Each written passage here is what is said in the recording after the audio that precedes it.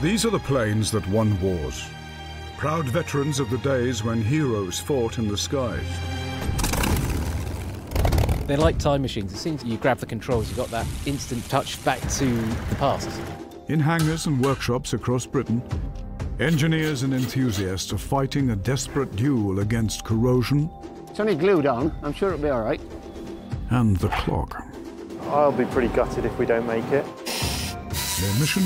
To return historic military aircraft to the skies.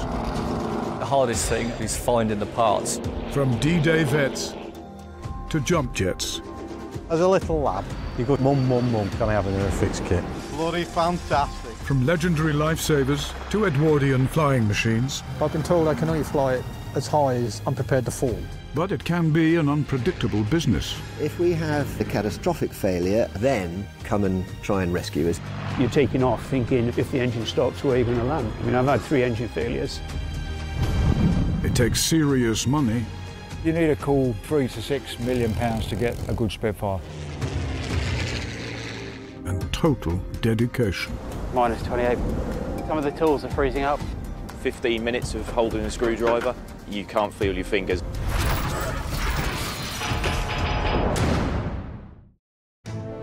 This time on Warbird Workshop. If it flew in 1911, it'll fly now. A 10-year quest.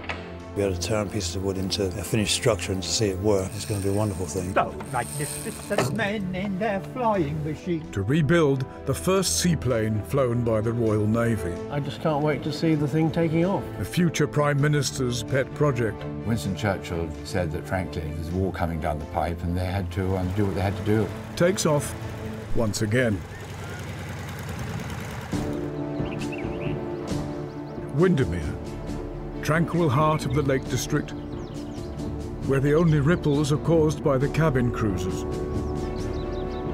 But 110 years ago, this was the place where a military revolution began. But very few people are aware that Windermere's aviation heritage started a long time ago in 1911. The Edwardian Royal Navy was facing a growing threat from Imperial Germany and its fleet of dreadnoughts. German ships maneuver in the cold waters of the North Sea. But a young politician called Winston Churchill decided to bankroll a radical civilian experiment that could give our ships an eye in the sky.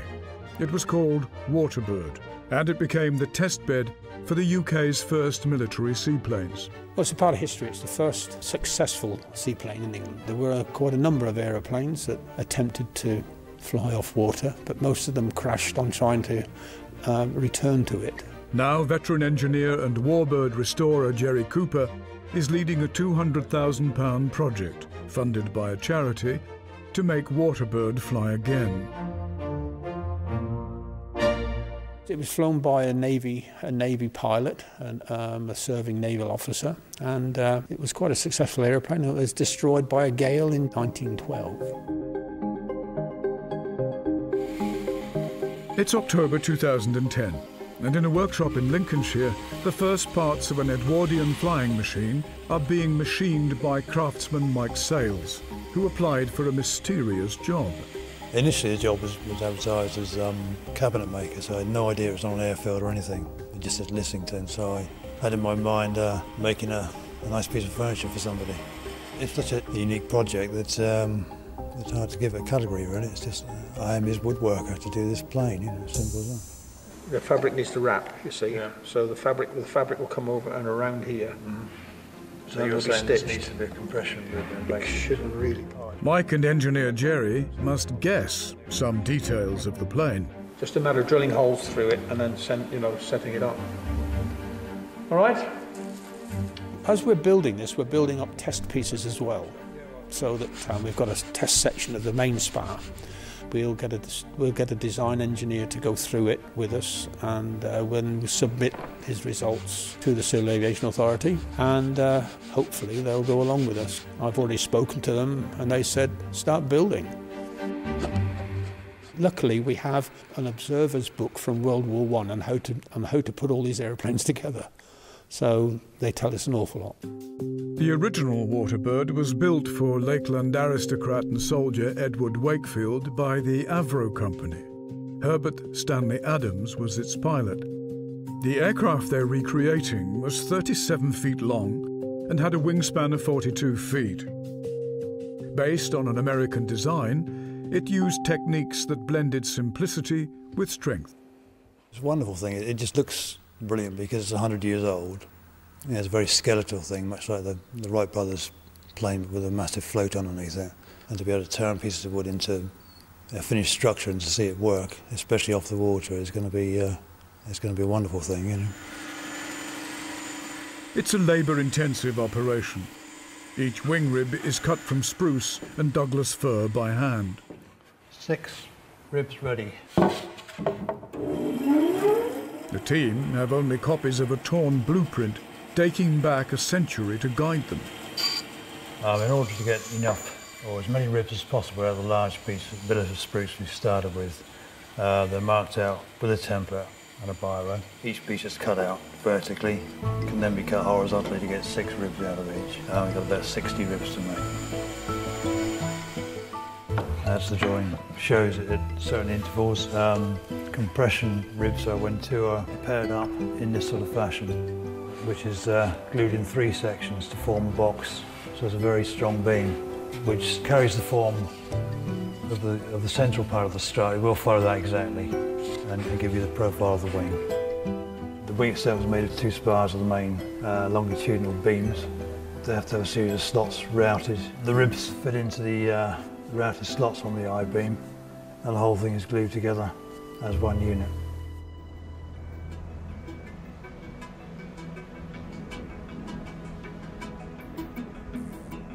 It's June 2011, and in Jerry's hangar at Wickenby, among the more modern planes, the first parts of Waterbird are coming together for the first time.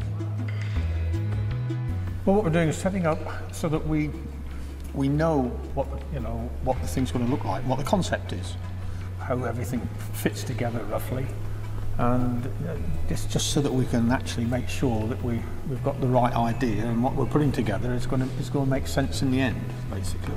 We need to get the thing all trimmed and everything, you know, we do that on land um, because we'll be tensioning wires and we're moving things around. It'll be very difficult to do in water. And then we'll convert it, or we'll convert it in here to take the floats and put the floats on it, and then we'll take it to Lake Windermere.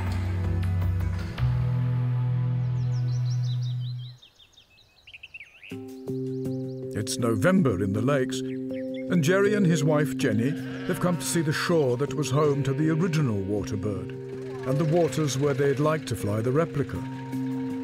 We're looking at Hill of Oaks, where it originally happened, okay, and the, the, just the, the, history part of it, and uh, looking for a site with which we can uh, work with and get the thing airborne. Before the First World War, this was where British naval aviation was born and our first seaplane base was built. There was a lot more, lot of area clear for a start. There were none of these trees around, and the sheds were here. Um, so, it, you know, it's once you can see what 100 years has done, you know, it's just completely, completely, almost obliterated the place. Jerry's been joined by lawyer and pilot Ian G, who heads up the charity paying for Waterbird's rebirth and retired naval officer Adrian Legg. That's the original wall there, yeah. Um, this, is, this has had, what, 100 years, 100 but, but, years, 100 years to grow? Oh, to overgrown, but it, it's, it's the walls. These are the ruins of Waterbird's hangar. Those are the structures that orientate yourself yeah. to yeah, yeah. the original uh, naval air station. Ian believes he and Jerry are following in the wake of Edward Wakefield and the pioneering pilot who was brought here to fly Waterbird. Herbert Stanley Adams was originally down at Brooklands, uh, where he had learned to fly there. And it was there that Edward Wakefield met him and brought him up here to this amazing adventure um, that he had no experience at all. So Jerry is the combination of that spirit um, and innovation uh, and his skills. All those things pull together um, to be a repeat of what was done over 100 years ago, and it will be a wonderful experience, and we're so very grateful for everything he's done. In the next few months, Jerry's team must cover Waterbird's wooden skeleton. It's all time, very time consuming, but very rewarding. And the descendants of the aviators who first flew it come to visit the replica. This was where it began, and so it really is quite remarkable. It's almost a year since work on Waterbird started, and in Lincolnshire, joiner Mike is recreating an Edwardian pilot's seat. It's steamed. You need to be quick because you've literally got a couple of minutes before you've got that give. Just glued up a series of um, three or four layers with glue in between each. Aluminium, a piece of aluminium which is bent to the outside of the curve is then curved. So you've got the former on the inside, it's pulled round with the glue between each one. It's very strong, you know, it's not going to go anywhere. Waterbird didn't even have a seatbelt. And the charity is in an equally vulnerable position. Money is tight, and fundraisers have brought in TV news to publicise the appeal. Ian has invited three descendants of the original Waterbird's champion and two of its pilots to see the newly assembled skeleton. I'm here to introduce Tenningworth, Lord Lieutenant of Lincolnshire, to Waterbird, because Waterbird was, was flown by his grandfather um, within a month of my Uncle Edward making the first successful seaplane flight of, in, in, the British Empire. Within a month, the Navy were fascinated to, to see what was going on here, sent their young Lieutenant Arthur Longmore to test it, and he was so pleased with it that uh, within two months, my great uncle Edward was um, in, contracted by the Royal Navy to produce floats. When Waterbird flew, Britain was three years after the start of the First World War. Without radar, the Royal Navy was blind to enemy shipping beyond the horizon. Winston Churchill decided that what he named a seaplane would give his admirals a crucial advantage. Back in the lakes, the arrival of the top-secret military experiment was not popular with the area's most famous residents, including children's author Beatrix Potter. The teeth of opposition from Beatrix Potter and Canon Rawnsley, who was founder of the National Trust, they, they, they put up 100,000 signatures, but Winston Churchill said that, frankly, there's a war coming down the pipe and they had to, um, they had to do what they had to do. Then you have a wire from there out to that strut. Yep. My grandfather was sent by Winston Churchill to look at uh, the Waterbird, which was being built at that time, on Windermere and to uh, take it off to fly it to see whether it would be suitable for the Royal Naval Air Service. Mad as chips, but you know they had a lot of spirit about them. They all they wanted to do all these things. But it was, it was very different in those days for people who wouldn't learned to fly because if the engine cut out, whenever it was, well, you, you could just sort of glide down and land in the nearest field. I think it's absolutely wonderful what he's been able to do with bits of spruce and bits of Douglas fir. And uh, I just can't wait to see the fabric on there and all doped up and uh, the thing taking off.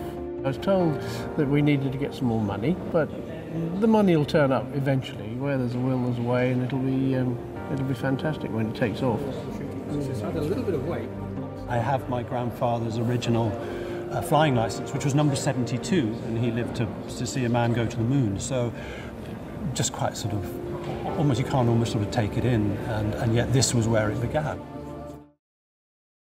Today in the workshop, Jerry's rediscovering the skills Edwardian plane makers needed.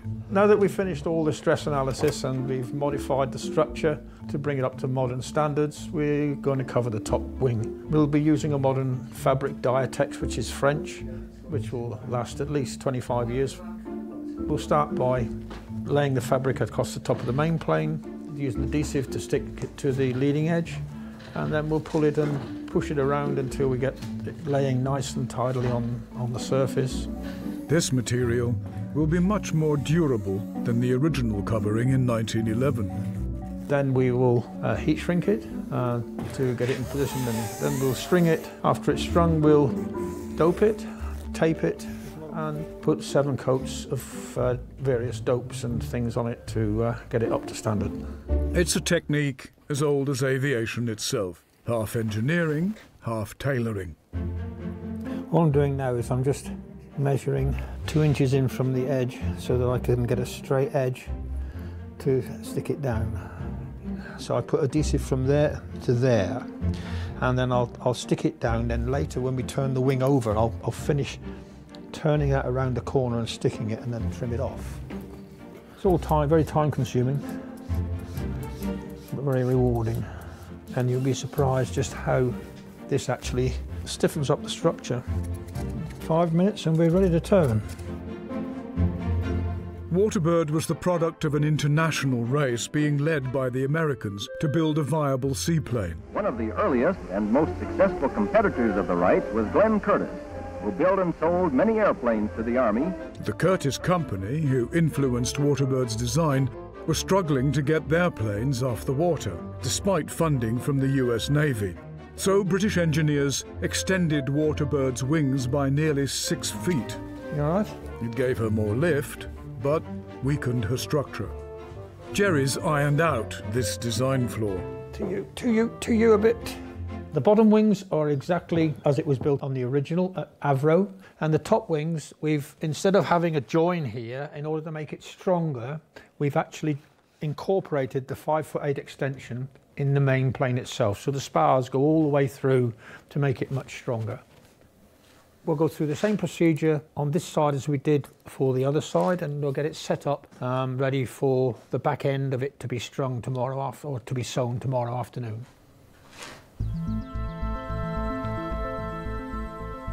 Back in Jerry's hangar, the wooden framework where the pilot sat is being put together to see if the centre section of the wing fits.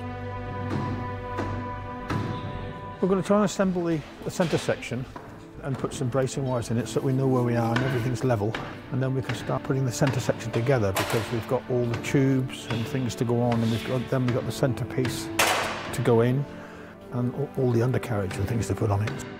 When, when we start putting the wings on and that sort of thing, we, we need the whole thing level so that we can set up all the incidences of the wings and the dihedral and everything.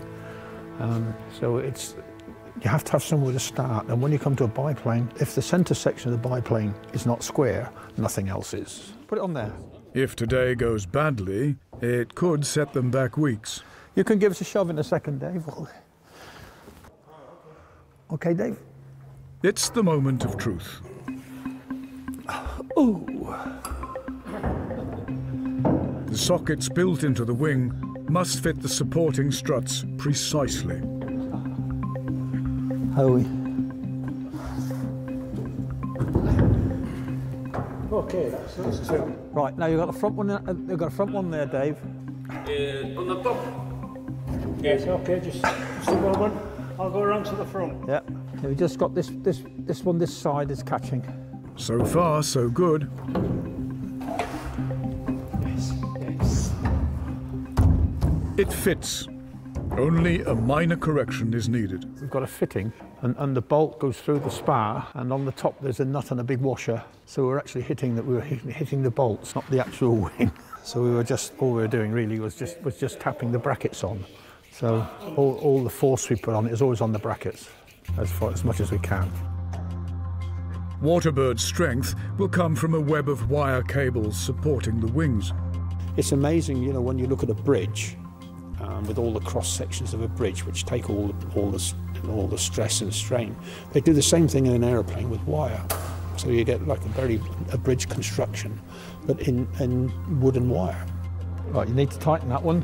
In order to do this, every wire has to have a tensioner in it, and so we have them in all directions, and we have to put the airplane together and with clinometers and straight edges and all this sort of thing. We have to make sure that everything is the same all the way through by tensioning up the turnbuckles to align it all.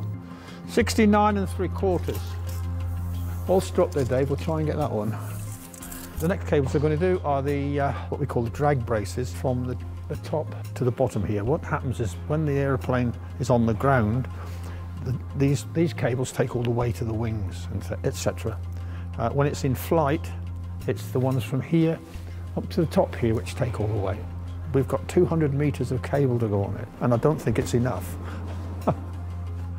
right, 69 and three quarters. This one just needs to go a little bit tighter. After five years, the heart of Waterbird is at last taking shape. An Edwardian flight of fancy come to life. On the shores of Lake Windermere, the restoration team are trying to solve the mystery of the wooden float that made Waterbird revolutionary.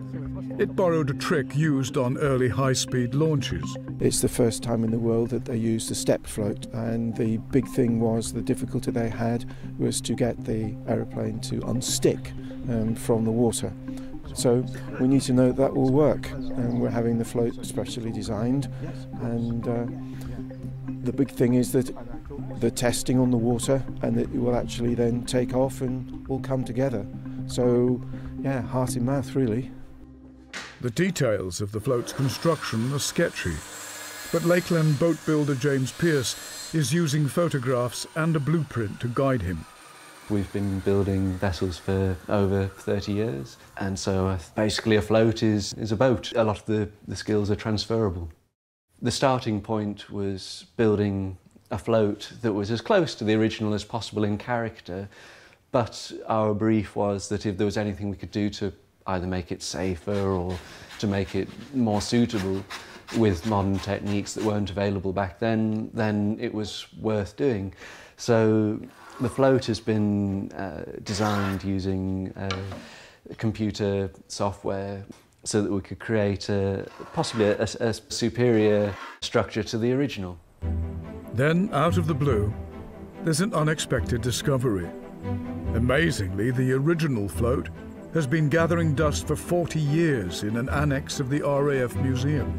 We have the lake's waterbird, or the, the sole remains that were donated to the museum in about 1971. They came from the Lord Wakefield estate along with some other archive material. The float, which is probably the one in best condition, was on display for a short time at the RAF Museum at Hendon, which, once the, the full sort of display had been arranged, was taken off and stored.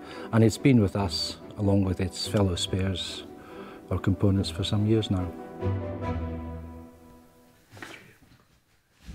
We went down to the, the RAF uh, museum where it's all been kept and we took our original measurements from the original float that is existing there, or what, what's left of it, um, to create the, the drawing for this.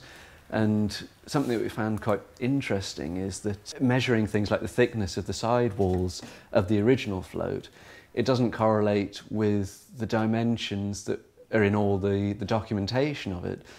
So, it, which makes you a bit sceptical about the weights that they said things were, and possible the overall weights of things as well. I think some of it might have been partly guesswork by the Admiralty when they did their, their testing.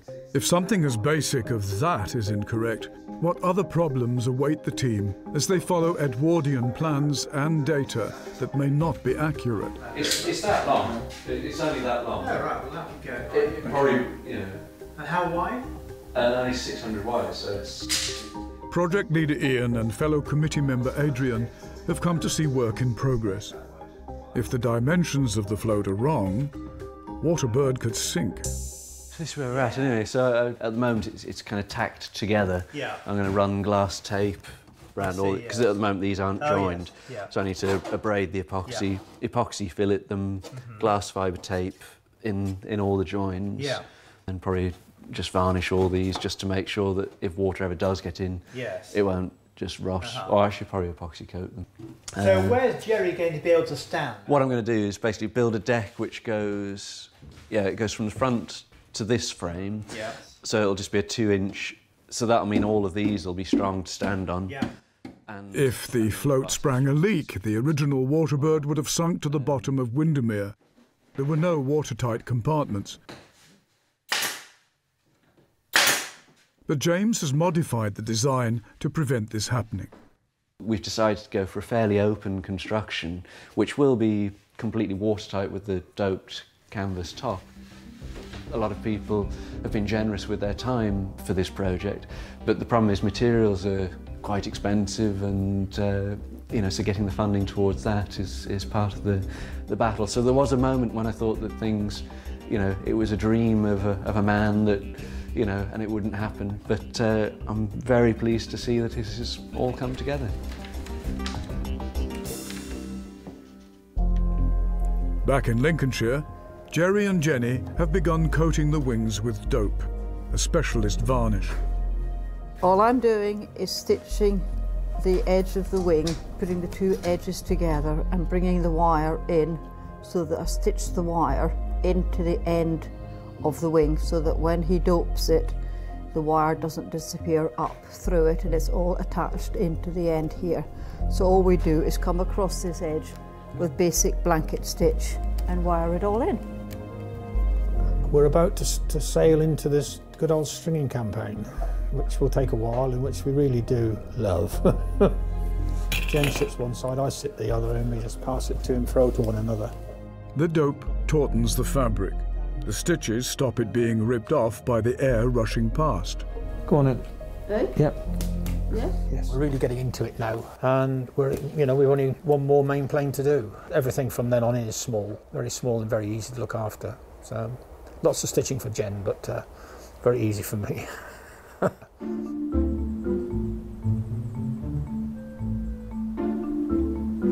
It's spring, and it's a big day at the hangar.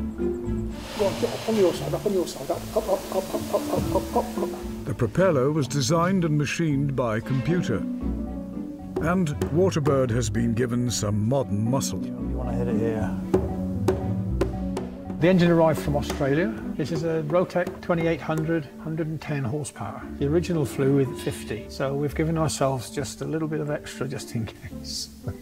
Make sure the prop's right and goes on, and it does. Next thing we have to do now is to wire it all and put the filters in, tank, tanks. Dave's doing tanks at the moment. One oil tank, one fuel tank, and then uh, start plumbing it all in. It's time to fit the outer wings for the first time, too. Towards you a bit, Dave. Tops in, bottoms in. The shrinkage caused by doping fabric can pull wings out of shape. No, no, just go back a bit. An accurate fit is critical. This whole left port side's got to be done the same manner as that with the struts and top wing. The large ailerons and the small ones have both got to be covered yeah. Tight, tight, yeah, well, tight. Loosen it, loosen it. And that's it. Oh, well, that's got to pull up on that back one now to pull that in. That one? Yes. That's slack now, so that should go. So that one, that one needs to pull up now. You see, by tightening this one in, we've actually pulled this forward. Certainly, you can't help but be sort of impressed, but you know, when you see what it is, it really reflects the time it was designed and made. It looks like something from that period because it's been made to basic drawings, but it's still using their, their photographs and their, their drawings. So, you know, between my making the skeleton, Jerry and Jenny's covering the wings, it's, uh, yeah, it's quite impressive just look at it, isn't it? It's half a decade ago, it's 2010, so for most of that time, it didn't really look like it was going to be funded and, and be completed, so it'll be great to uh, see it come to fruition as a machine rather than just a handful of uh, poles and bits of material, you know. The next task is fabricating the bamboo poles that supported the control surfaces in front of the pilot, the canard as it's known. It's down to, to obtain the, the bamboo for these, these large triangular supports for the canard and the tailplane. Uh, tailplane's been made structurally but not covered yet, so they've, they've got to be done and lightened hopefully. This is roughly where the canard will be when it's uh, rigged properly. It's just basically an elevator, it's the front elevator.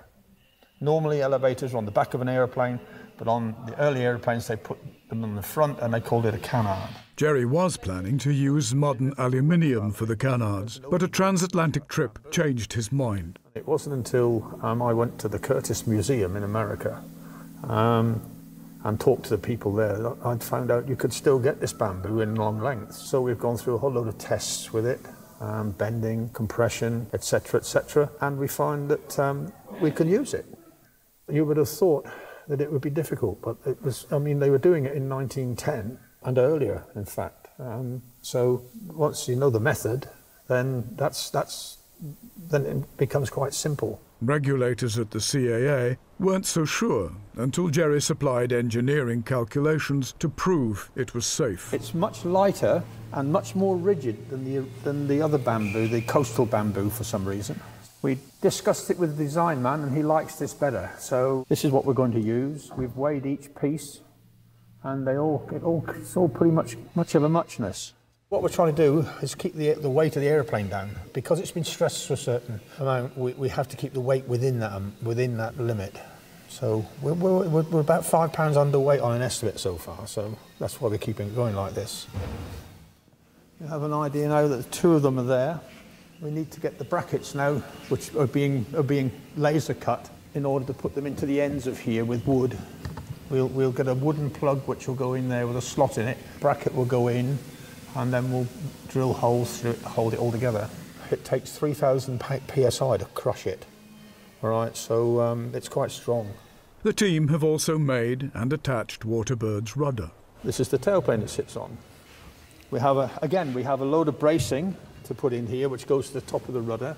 And as you can see, the rudder is quite large and does its job quite well, really. But flying Waterbird from the waters of Windermere won't be easy. Flying an Edwardian seaplane is an art that is now forgotten. And after 50 years in the air, Jerry's had to go back to flying school. So I now have to get a seaplane rating on my licence, so consequently I'm off to Cardiff this afternoon, ready for an exam tomorrow, and then I can do the flying afterwards, and that's the end of it, then getting on my licence. So because you, are able to you're able to land on water, and you need to know who has the right of way. Um, and funnily enough, seaplanes right at the bottom of the list, so, so you give way to everybody. Waterbird's first flight is ebbing closer. At Wickenby, the team have reached another major milestone. Ian and Adrian have arrived with the last missing components. Cushion just to your left, Jerry. This morning is the momentous stage we have in our project for the delivery of the float. On the trailer this morning we've brought the float and an enormous uh, drawbar because the drawbar has to be long enough to clear the, uh, the elevator at the front of the aircraft. So it's a, it's a very long piece of kit. The float has been built by uh, James over in Ambleside. So it fits exactly, locks onto the, uh, the wooden sections of the trolley. And the idea is the whole aircraft will be launched down the slipway on this bogie. Ready, Lazar? Here we go. The step needs to go by that piece of wood. Making sure the float fits and they can launch the aircraft is vital preparation for her arrival at Windermere. Age of Miracles not yet past, you know. That's approximately where it goes. Approximately. Right. Now let's have a look at this piece.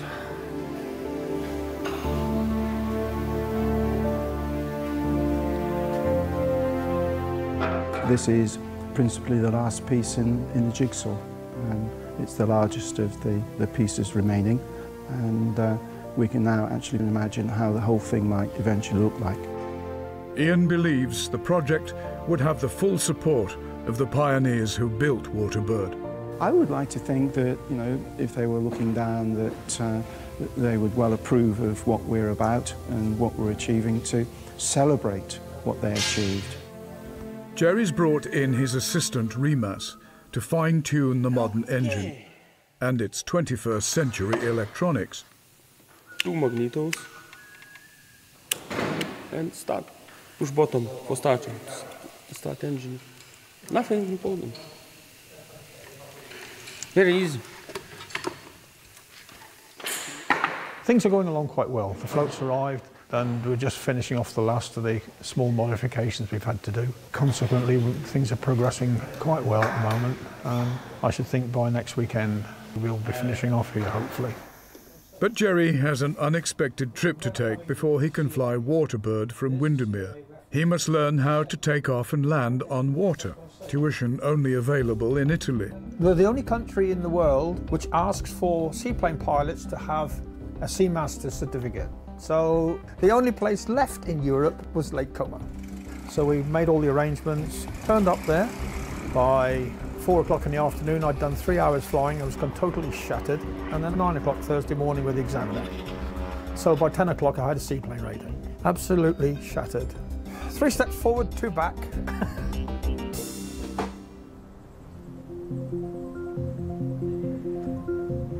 it's September 2015. And five years after the first wood was cut, Waterbird is rolled out for the first time. Finally outside, it doesn't look as big as it does inside the hangar, does it? It looks a lot smaller. Waterbird is to be test flown from wheels. It's safer than trying to take off from water. The aim this morning is to run, make sure everything's happening as it should. Um, we might have a little problem with one of the circuits on the magneto side, but we can fix that. But just to make sure the engine runs. Those magnificent men in their flying machines, they go up, uppity up up, they go down, flying around. Steps. Station. Yep. It's time to fire her up.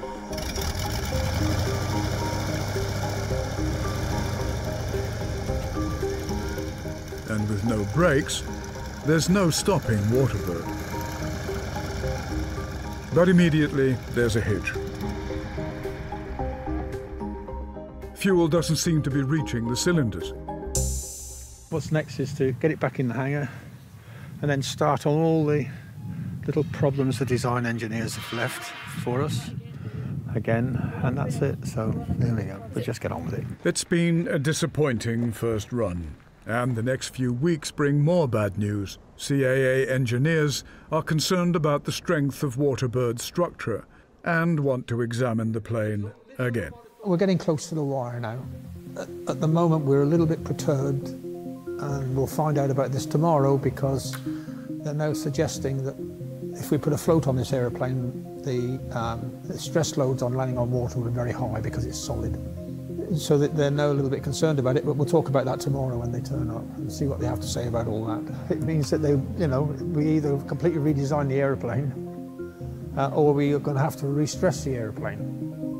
Um, I don't know which way they're going to go yet. Um, so we'll keep plodding on and getting as far as we can and then see what happens. Um, we'll hopefully fly it as a land plane whilst they get together if they need to, to um, see what we're going to do about sorting out the float plane side of it. It's just another fight with, with authority. And I've got a drawer full of bollocks, so I'm not that worried about it. the team are taking the opportunity to adjust the controls of Waterbird.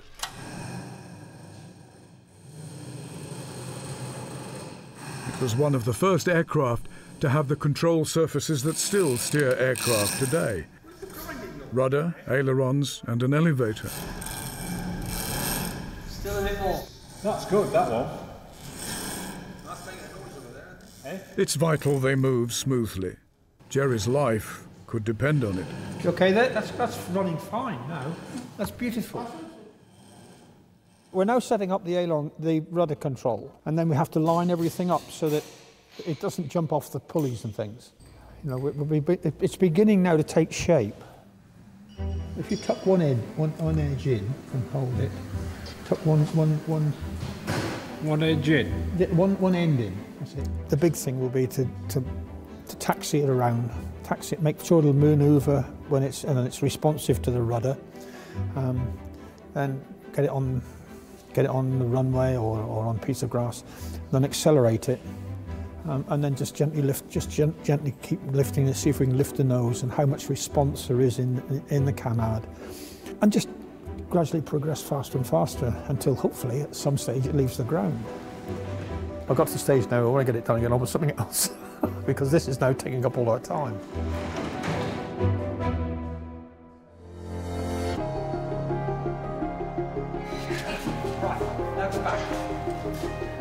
It's a landmark day at Wickenby. After eight years of work, they're going to try to fly Waterbird.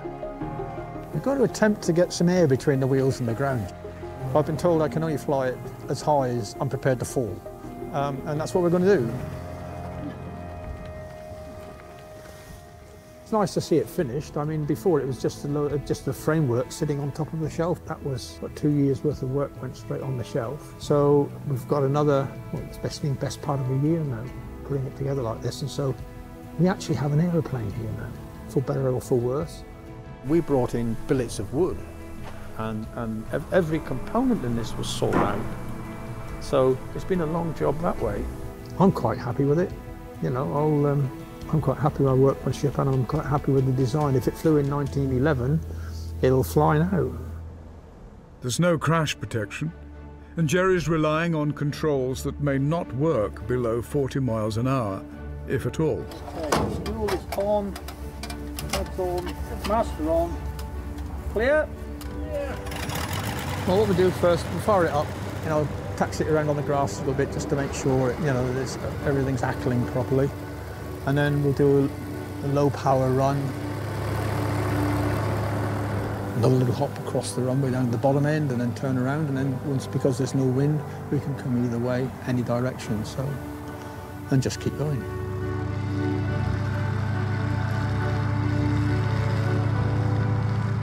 The sight of a 107-year-old plane on the runway is drawing a crowd. Jerry's confidence is growing.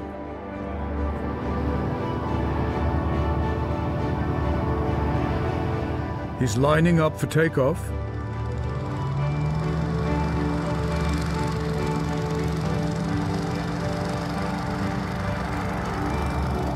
Jerry's airborne. Now he must use all his experience to come down again without wrecking the plane or himself.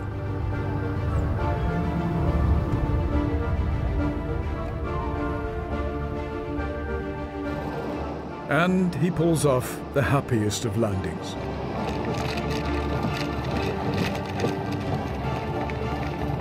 It's a big relief for the pilot and his wife that was super.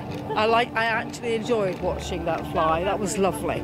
We've had to have a few alterations along the way, but we've overcome them, and tonight is an example of it. The guys have been unbelievable. Okay, what they have pulled together and to do it is is is well, words cannot describe the effort that they've put into it. Jerry's belief in it and also E&G's belief in it has been second to none. And without that belief, they wouldn't have done what they've done. It's testament to the guys that have built it all the way along. It's a culmination of a long time and a lot of a lot of aggravation, but uh, there it is. There's quite a lot of aileron control on it so that you can't, you know, you can actually feel it wants to turn and it wants to do all these things. This is what's the annoying part is because it's so, it looks so fragile.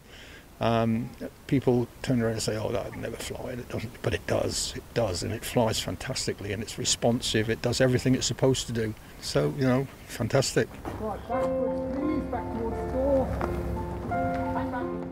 I feel great because it's showing them all their hard work actually works you know, and that's that's that's it. I mean, the carpenter did all the woodwork on it, and then um, did all the engine and electric side of it. It's vindication of a, of, of a lot of and ha ha ho ho stuff, you know. That uh, it'll never fly, uh, but now it does. So I'm going to go home with a gin and tonic, I think. Eleven years after the first piece of wood was planed, Waterbird is prepared for a journey back to Windermere, where she first made history.